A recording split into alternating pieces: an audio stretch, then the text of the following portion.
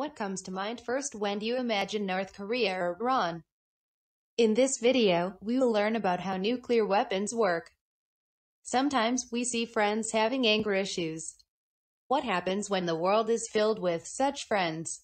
We often hear about a material called the uranium. Just as there are many different breeds of dogs, there are many different kinds of uranium.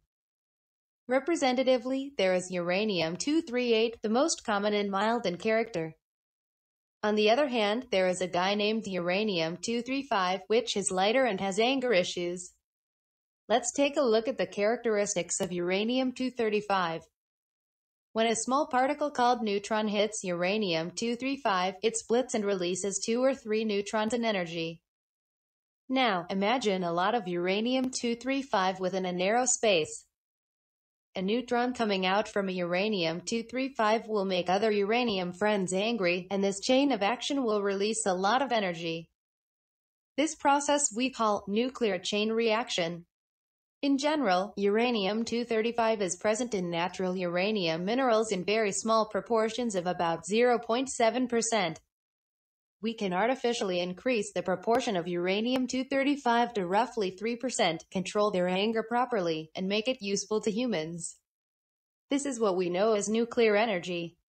Processes for increasing the proportion of uranium-235 is called uranium enrichment. So, what happens if we enrich uranium-235 up to 90%? It can be used for a nuclear weapon.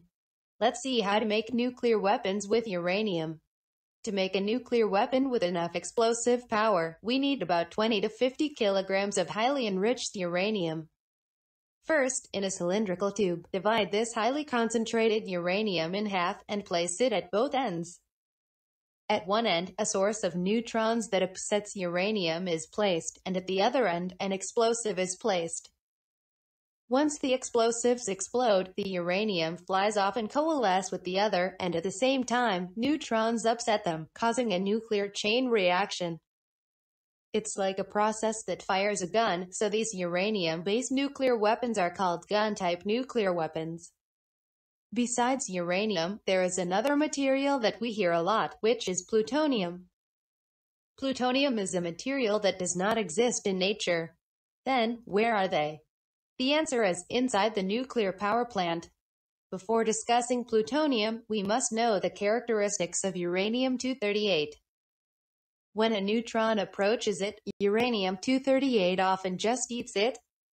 Then, after having a neutron, uranium-238 changes over time into various substances as it digests the neutron. One substance that arises from this process is plutonium-239. After generating electricity in a nuclear power plant, there are many kinds of materials in nuclear spent fuel. In these various substances, plutonium can be chemically separated, and this separation process is so-called reprocessing. And with the reprocessed plutonium, we can make nuclear weapons. Let's talk about the characteristics of plutonium. Compared to uranium-235, it is heavier in weight and has more severe anger control issues. While uranium-235 gets angry after thinking about the situation, plutonium is a guy who punches first before thinking. Because of this characteristic, plutonium cannot be used for gun-type nuclear weapons. Since plutonium gets upset faster than uranium does, it releases anger very rapidly a very early stage. Therefore, nuclear weapons often break down before fully burning up the plutonium fuel. This phenomenon is called fizzle. If nuclear fizzle occurs, it is hard to get the explosive power that the weapon designer wanted in the first place. To overcome this problem, plutonium-based nuclear weapons are designed in the form of spheres, called implosion-type nuclear weapons.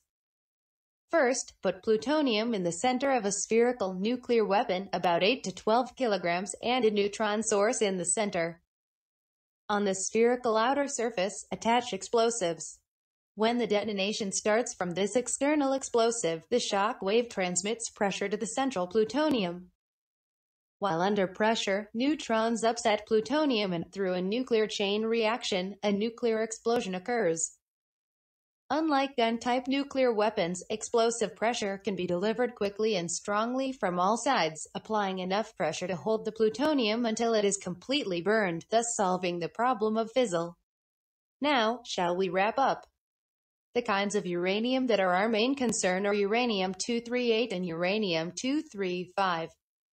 Uranium-235 has Anger issues and is present in natural uranium minerals in a small proportion of 0.7%. Through enrichment, it can be used in nuclear power plants by increasing its proportion to approximately 3%, and by 90%, it can be used in gun-type nuclear weapons. There are many kinds of materials in spent fuel, and one of them is plutonium. Through the process of reprocessing, plutonium can be chemically separated, and because of its exceptional anger issue, plutonium is used in implosive nuclear weapons. Thank you for your time.